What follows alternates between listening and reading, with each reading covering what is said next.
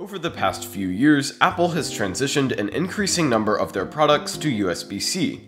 It started with the 12-inch MacBook in 2015, and since then, the port has been added to most iPads and the rest of the Mac lineup. But something is notably missing, the iPhone. Apple has resisted using USB-C on their most popular product for nearly 7 years, and that's finally about to change thanks to the European Union's policies. But first, let's take a step back in time, because this story starts with the original iPhone. When it was released in 2007, most cell phones used mini and micro USB connectors, but the iPhone used Apple's proprietary 30-pin connector. At the time, this made sense, considering most people already owned iPods which also used the port. So there was relatively little backlash against Apple because existing cables and docks would be compatible with the iPhone. However, three years later, another transition took place. The iPhone 5 was being developed, and its thin design meant it would need a smaller connector. USB-C wasn't ready at the time, so Apple created the Lightning connector that's been used on the iPhone to this day. There's a great video from Apple Explained that goes into this further, so I'll link that below. But that decision to develop a new connector meant taking a fair amount of criticism from customers.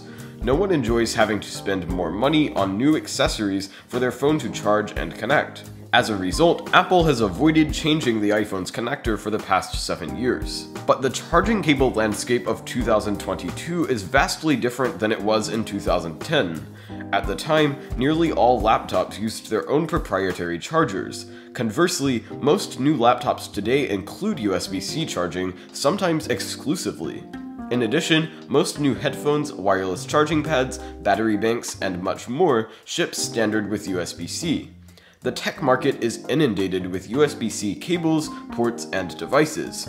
And like I mentioned earlier, even Apple has been moving their other products to USB-C.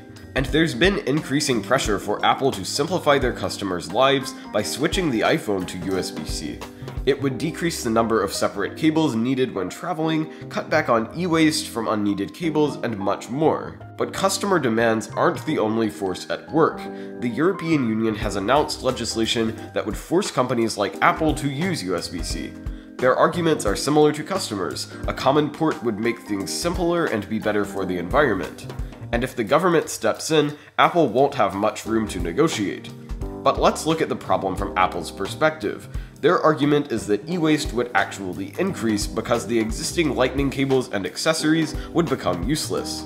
But that doesn't make much sense, because there are also USB-C cables and accessories that are not being used because they aren't compatible with the iPhone. There's also a financial aspect that Apple doesn't frequently mention. Lightning accessories must go through a certification process to function correctly with iPhones, and that means companies that want to use the connector on their accessories must pay steep royalties to Apple. It's a nice source of extra profit for Apple, and they aren't interested in losing it if at all possible. But with customer demands for USB-C surging, environmental activists demanding change, and governments imposing regulations, I'm optimistic that Apple will finally adopt USB-C on the iPhone 15 at the latest.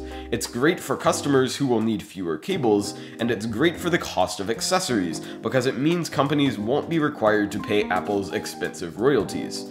But let me know what you guys think in the comments below. Do you think Apple will make the switch, or do you think they'll hold out as long as possible until they're forced to? And as usual, thank you so much for watching, and I'll see you in the next video.